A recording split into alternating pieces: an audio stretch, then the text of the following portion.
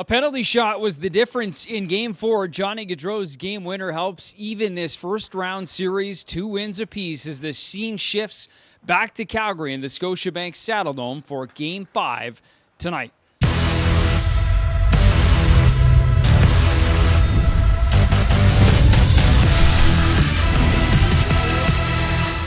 Well, what started as a best of seven is now down to a best of three as we welcome you into game day here from the Scotiabank Saddledome. The Calgary Flames earned home ice advantage back for the final three games, or at least potential for three games in this best of seven series, now tied at two wins apiece. They'll look to take advantage of that tonight in game number five, a pivotal one in this first round series between the Calgary Flames and Dallas Stars. As for tonight, well, they got it evened up thanks to four goals, finally breaking through offensively offensively in Dallas, and now we'll look to try to carry that into Game Five tonight for the Calgary Flames. Still the lowest scoring series though in the Stanley Cup playoffs so far, just 14 goals, seven goals for each team, and that includes a few empty netters. Both teams finally got their second power play goals of this series as well in game number four, and yet it took about 50 some shots for the Calgary Flames in game number four. 54 was the final total. That's the largest total in a single game that didn't require overtime in that game four victory for the Flames. They've also allowed the fewest shots on average here through so far four games of the Stanley Cup playoffs. So they got it back to even.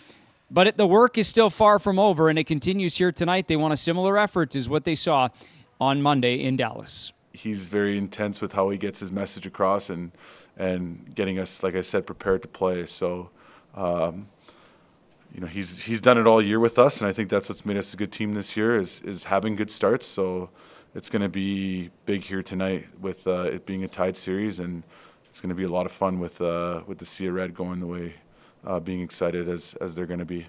Who to watch tonight? And it's two of the top D men in the series. They've been involved physically as well. John Klingberg for the Stars, who has one assist in the series, played almost 25 minutes in game four. He also leads the Stars, surprisingly, in penalty minutes through the first four games with 26. Some of those have come head to head with this guy, Rasmus Andersson, who scored the game's opening goal on Monday, his first of the series and fifth career playoff goal. He's averaged just under 20 minutes a night despite only playing the first period of game number one. Both defenders will be in the spotlight once again for the Stars and Flames. In terms of the lineup, well, as you can expect, and as we've come to know from head coach Daryl Sutter, no hints or indications in terms of potential lineup changes tonight. We will expect Jacob Markstrom to go head to head with Jake Oettinger once again. On the other side, Stars are expected to make some changes. Head coach Rick Bowness said so on the off day in between games four and five. So we'll wait to see warm up to see officially what both teams will go with.